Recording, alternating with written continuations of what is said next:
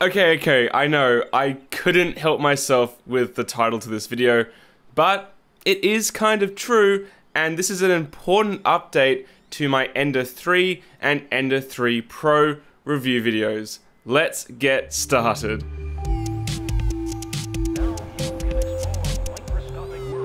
How's it going guys? Angus here from Maker's Muse, and first let me address two things. One, yes, I really do need a haircut. And secondly, I have the window open because man, it is it hot today. It's absolutely insane. The camera's dialed back to like minimum exposure.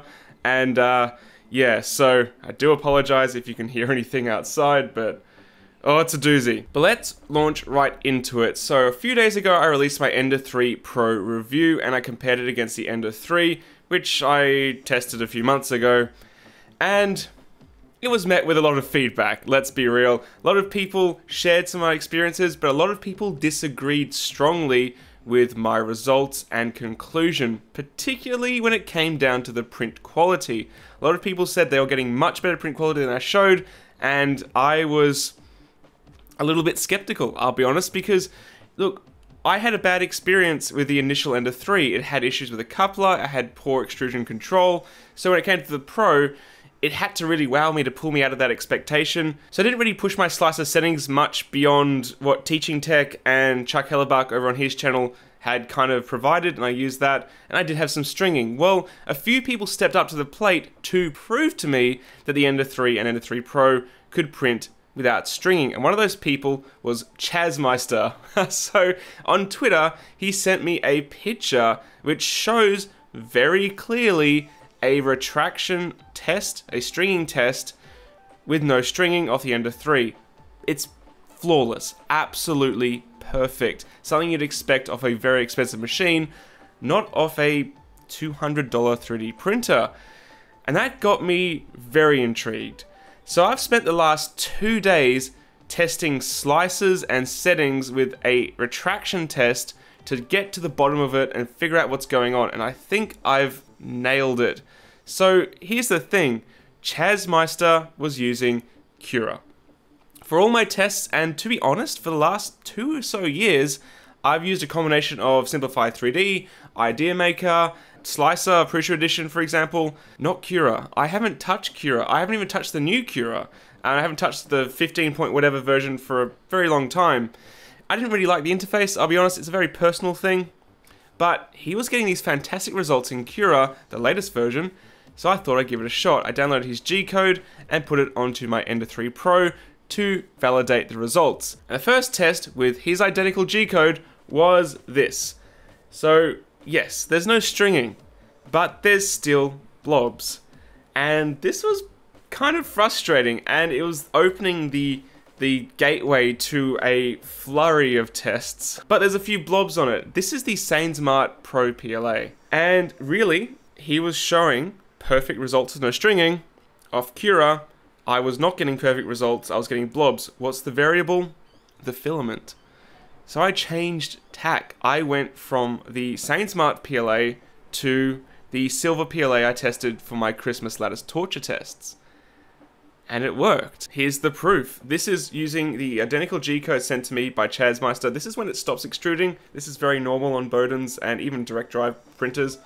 But uh, that's the only string. That's the only wisp. It's flawless off my Ender 3 Pro.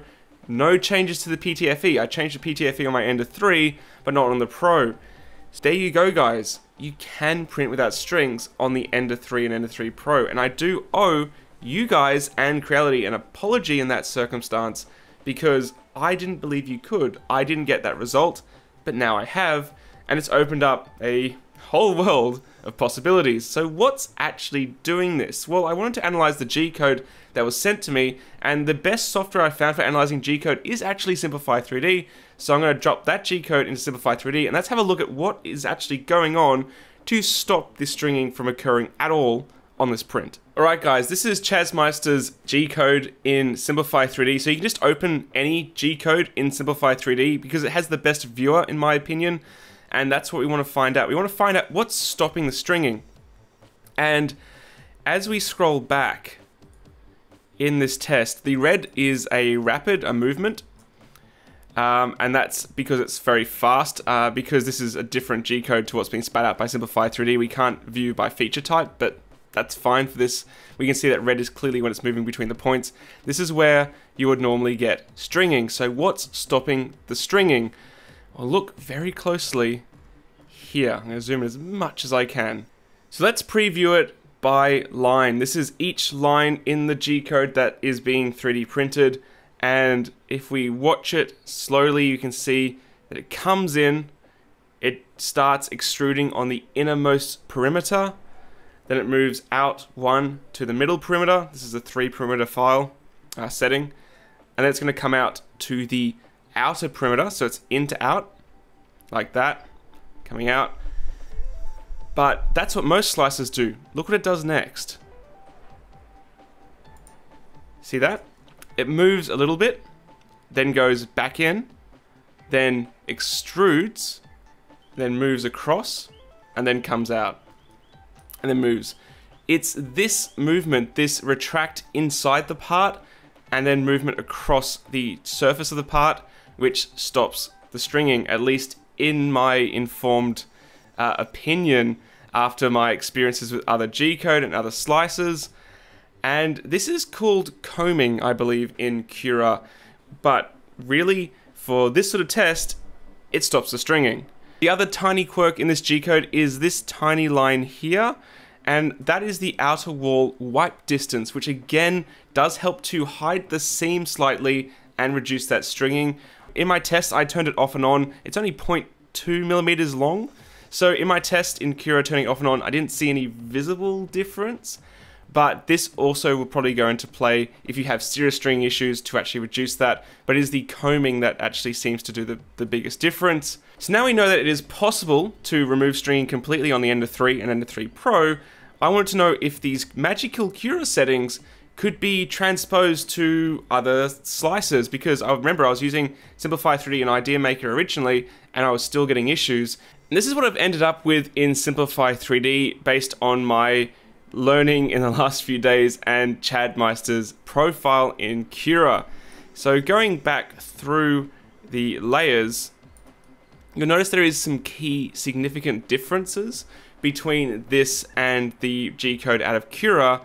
Um, there's no combing as such, at least I understand in Simplify 3. There is avoid crossing uh, outside perimeters which is what you use, for example, flexible filaments, but this has to go across, that's the point, it has to go across between the two posts. The result is very different to what Cura produced. It's very directional in terms of where it's got the seam, and in terms of the result though, very good. Um, Simplify 3D's result did become a bit wispy with the Sainsmart filament, because I think we've identified that that kind of has an issue with stringing, but the result out of the with the silver Prusa filament is really, really nice. To be honest, you can barely tell it apart from the Cura one, apart from the seam. I am also using the magic numbers that Chuck mentioned in a recent video, so it's I'm using a 0.16 millimeter layer height, not 0.15. Whether or not that plays any significant difference, I don't know. So despite having a different path to reduce the stringing, it still works and I'm quite happy with this result out of Simplify 3D. So the next test was to try Idea Maker, which is sort of my favorite underdog slicer. And really, if I can get Idea Maker to work, that's awesome because it's free and does customizable support. And here we have my custom settings within Idea Maker. And again, I've transposed everything I could from Cura. Uh, the thing about Idea Maker is it's a different layout again, so there might be some things that are different or that don't translate across. You have different settings under different names. But you can't lie over the results. Again, exceedingly clear. Uh, no stringing at all. In fact, when it pulls away at the top, that's even smaller than the Cura one. The only thing I would say about the Idea Maker result is the stitching on the seam is more obvious. But really, it's a seam. You get them on FDM 3D printers. It's completely unavoidable. So no stringing again. So that's Idea Maker, Cura, and Simplify 3D all tweaked to remove stringing. But there's got to be a catch, right? You know, you can't just magically remove stringing without kind of making a compromise. And yeah, there is. You see, with all these tests, I've disabled Z-hop, where the actual Z-axis, Z-axis moves up between each point. And it's pretty obvious with this Christmas tree lattice test that you kind of need it for some files, at least in my experience. This is the Cura profile, the same one that produced that perfect retraction test and stringing test. It failed miserably producing this tree. In fact, my original settings on the Ender 3 and Pro actually made better work of the lattice tree than this. And that's because Z-Hop is disabled. It doesn't move out of the way from these lower arms that tend to warp up. Better cooling might help, again, which I mentioned in my review, but that is a fail. So what about the retraction tests when you turn Z-Hop on using the profiles we just created? The first really interesting one is the Cura one. You saw how fantastic the Cura result was without Z-Hop. Well, look at it with Z-Hop. This is ridiculous. So all I've done is made it move up 0.5 millimeters between each point to help it clear posts. And it's just packed, packed full of stringing. It's the worst in the lineup, which is crazy, in my opinion. That is such, such a small change can result in such a significant difference. What about the other slices though? Changing that number, that single, single setting, does that increase stringing just as badly? Well, interestingly enough, no. The Simplify 3D one has wisps, absolutely. This is the kind of thing I was seeing on like the Geyer Anderson cat ears, stuff like that. Very, very small. A hot air gun would instantly remove them, but they are there, and they weren't there before we had Z-Hop. But the, the again, the underdog guys, Idea Maker, right? You would think probably similar extreme to Cura, maybe? No, none. Uh, but it's not perfect. This is really interesting. The Idea Maker result now has these little sort of raspy bits on the side. It's broken free, it's cleanly broken off, it hasn't left a string across the two posts, but it's not as clean as the result without Z-Hop. So where does that leave a conclusion to this follow-up? Back in 2015, I did a slicer throwdown between Simplify 3D, Cura, Slic3r, Slick 3R as Tom calls it, and Craftware. And back then, there wasn't many slicers available, and you kind of could do a comparison. But now, in 2019, there are so many slices out there, most of them completely free, that are insanely powerful. And I don't truly don't believe that a slicer comparison is possible because what we've proven, what I've found out, is material makes a big difference, brand makes a big difference, the printer itself makes a big difference, and the file's geometry makes a big difference.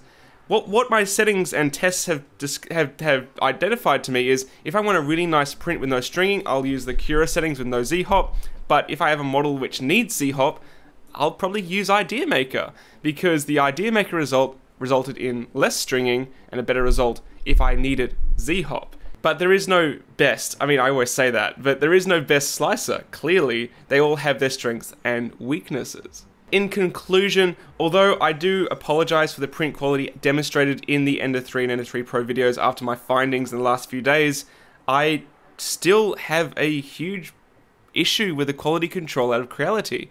And clearly releasing that video, many of you have received vastly different machines that are all Ender 3s.